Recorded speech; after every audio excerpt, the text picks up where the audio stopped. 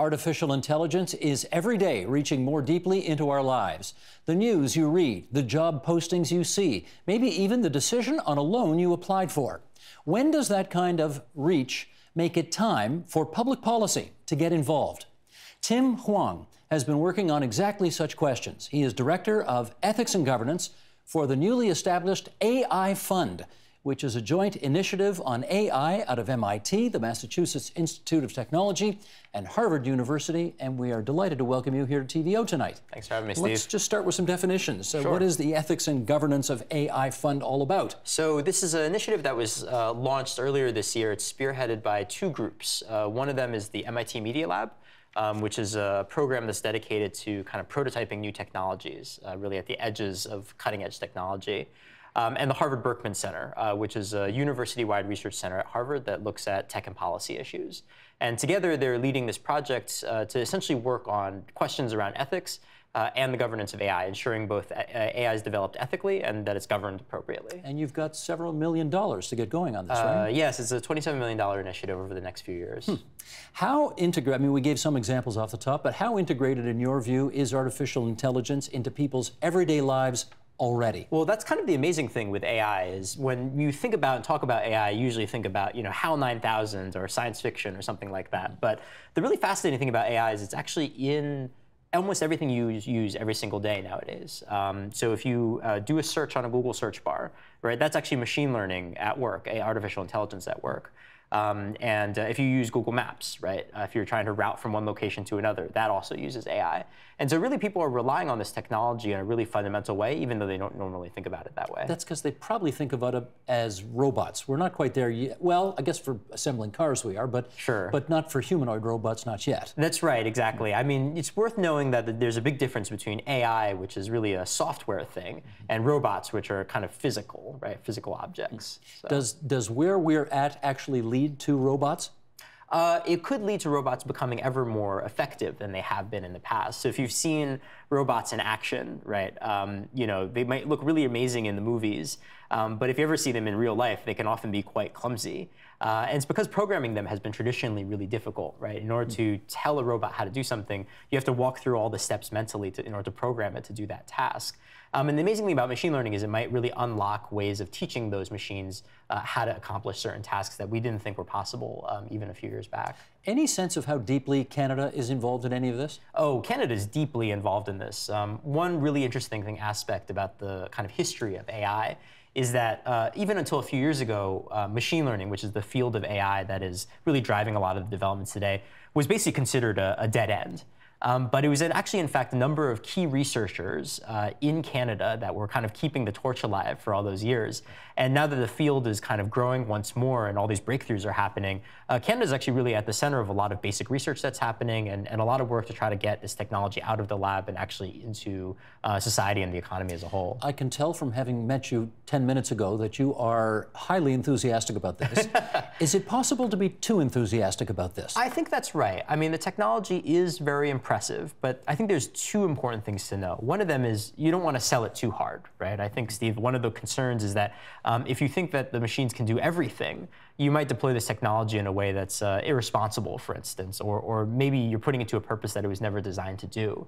And that really could cause a number of different problems. Uh, and I think the second risk uh, that people need to really be aware of is that the technology also can be used for, for good purposes as well as bad purposes, right? And, and the technology itself is sort of neutral. We have to be concerned about who ends up using it.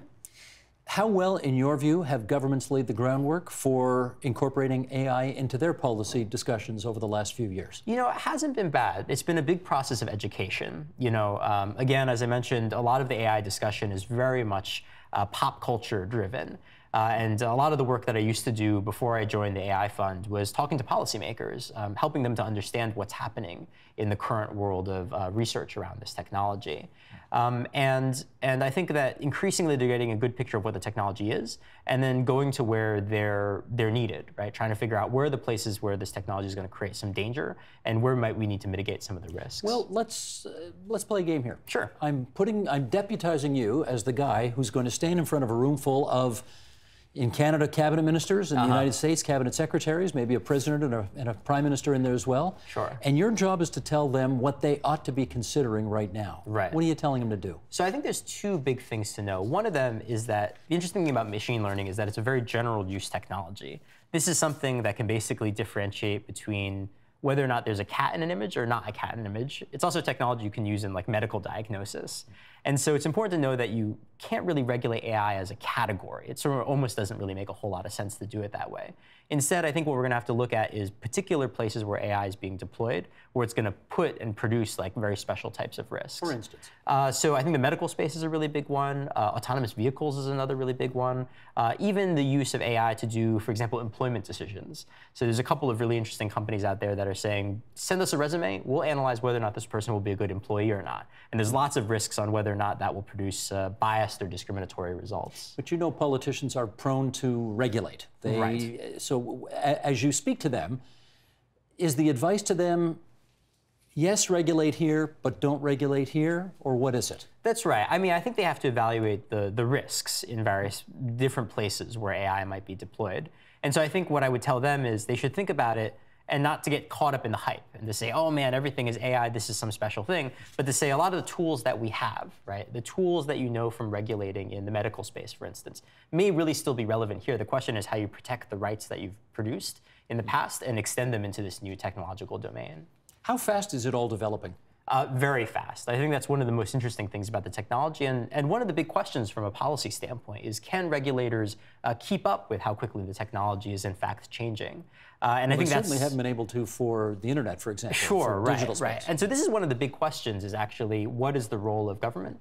And I think there might be a really powerful role in government bringing the right people to the table, though we have to ask whether or not we think that something like regulation is going to be the most powerful way of, of shaping the space. Are you essentially a, a pro or anti-regulation kind of guy? I would say I'm a pro-regulation person, right? I mean, a lot of these technologies are still pretty early on, um, and I think one really high-profile case of it going wrong uh, really could cause problems for all the other applications that we see in the space. And it's important that the technology gets deployed, deployed responsibly, and um, and so it's important that we we uh, think about what are the rules that should apply in the space.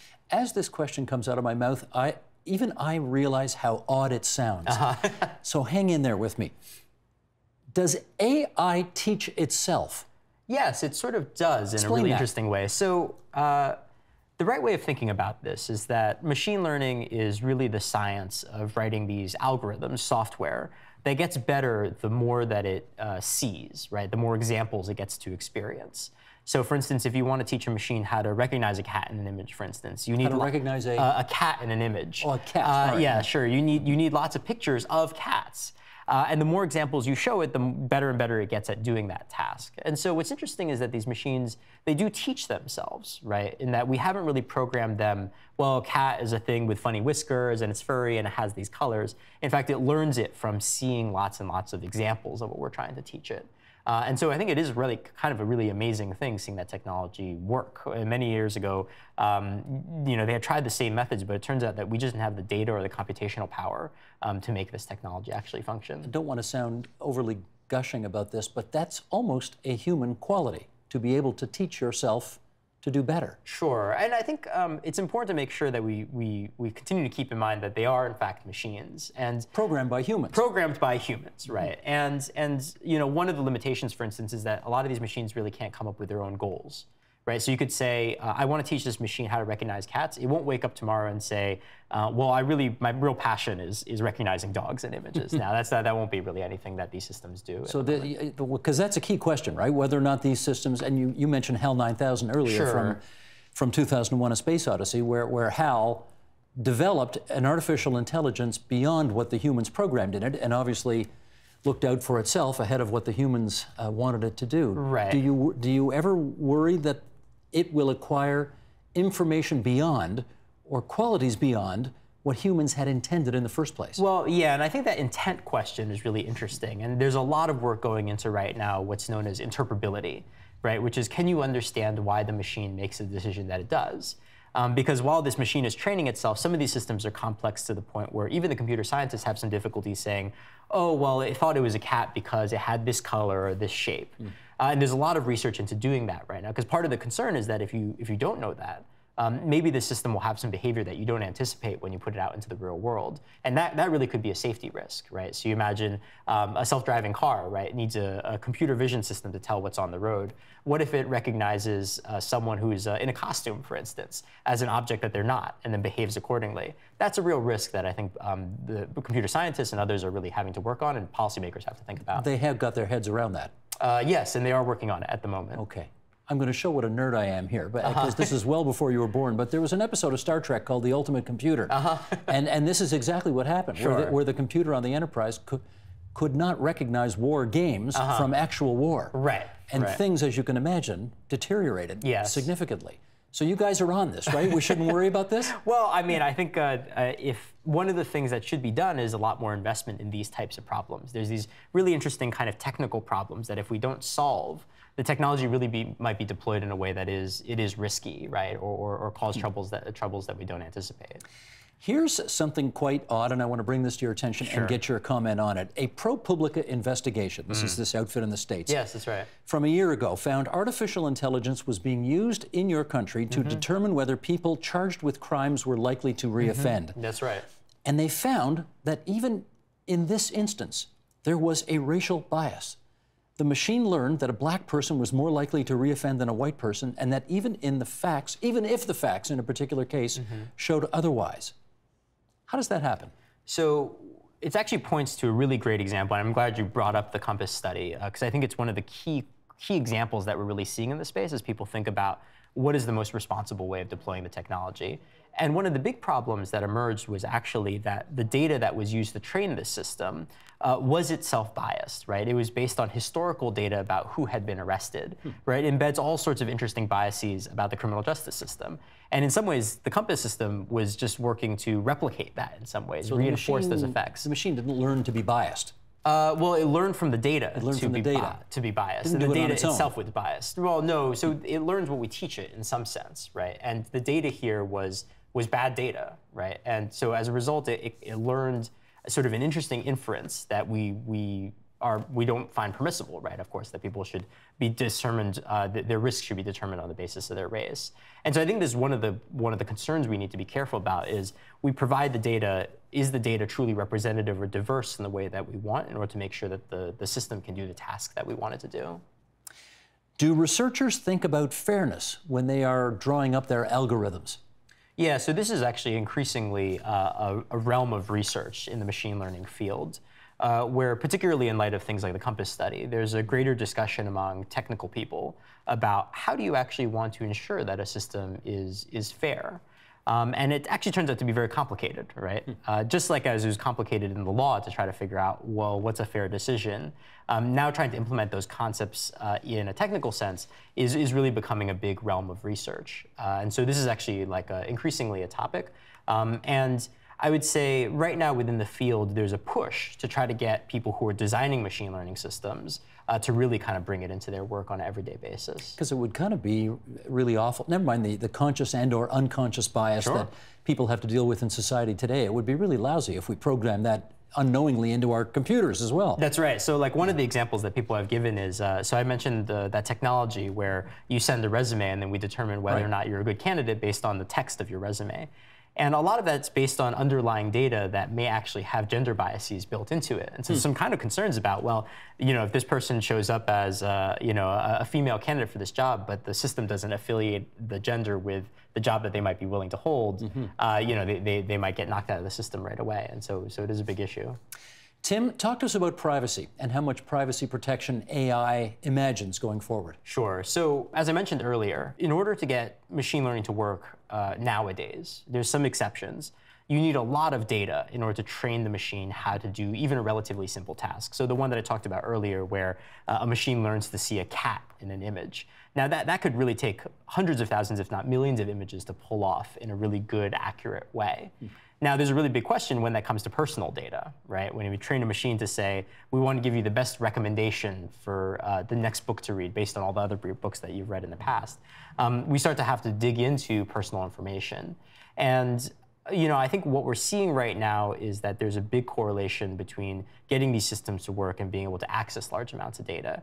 And so there's an obvious question about privacy and what are the rules that we want to govern um, the use of this, this, this data to, to develop these technologies. Because I think while we see there's big societal benefit, we also don't want to trade off too much of our privacy in order to get them to work. Let me pick up on the data angle because um, I don't know if you're a big baseball fan, but I'm a big baseball fan. Yeah. And there's a great debate in baseball about going with your gut versus all of the analytics and sabermetrics. And uh, eh, you know, and you know, depending on the day of the week, I don't know which side I'm on.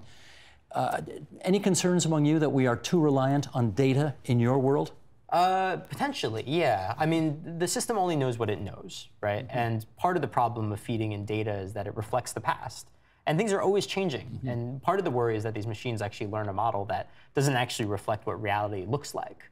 Um, and, and I think that's going to be one really big concern for these systems in the future is are they robust when things change? So say I come up with a robot that's cleaning a factory floor, right?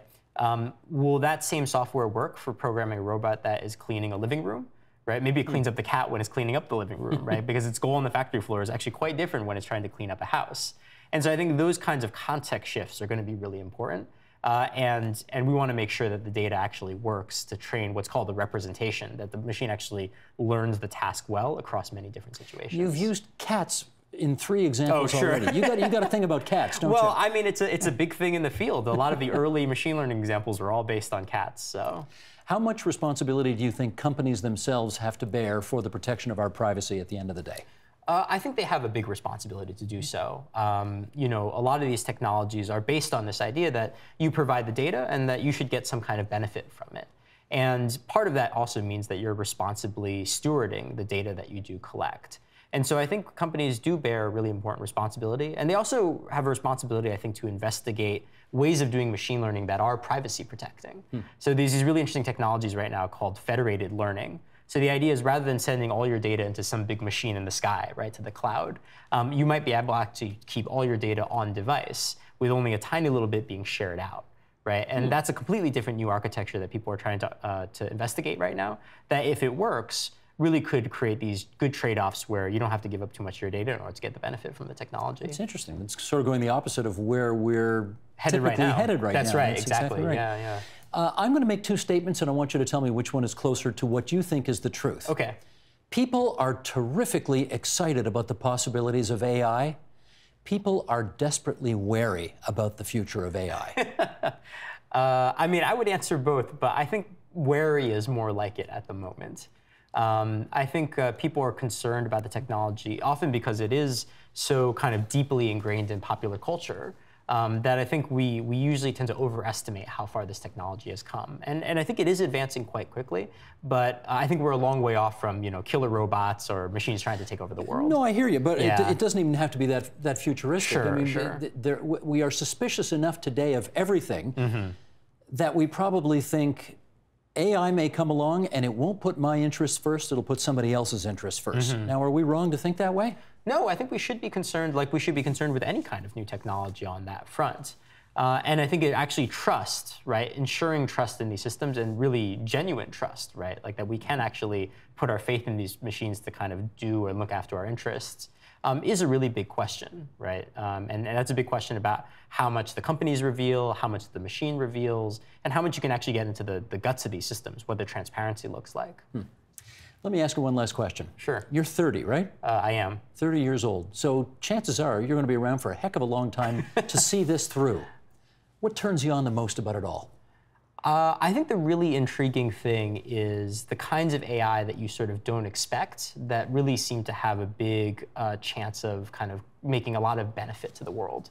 Um, so, uh, for example, there's a recent project that used AI to lower the amount of energy that a data center was consuming, right? Basically used it to intelligently uh, distribute energy in a data center to be more efficient and more green. And that seems to make a big difference if you can roll that out on a society-wide level. So I'm really excited by the possibility of using the technology to kind of really forward uh, public benefit. What's the one thing you want to see? Uh, I'd love to see uh, more technology being used to, to address questions of global warming. Hmm. And you think that'll happen in your lifetime? I think it'll happen, yeah. Cool. Tim Hwang is the director of, director of Ethics and Governance of AI Fund, which is out of two universities in New England. And we're grateful you spared some time for us here at TVO tonight. Thank Yeah, you. Thanks for having me. Help TVO create a better world through the power of learning. Visit TVO.org and make a tax deductible donation today.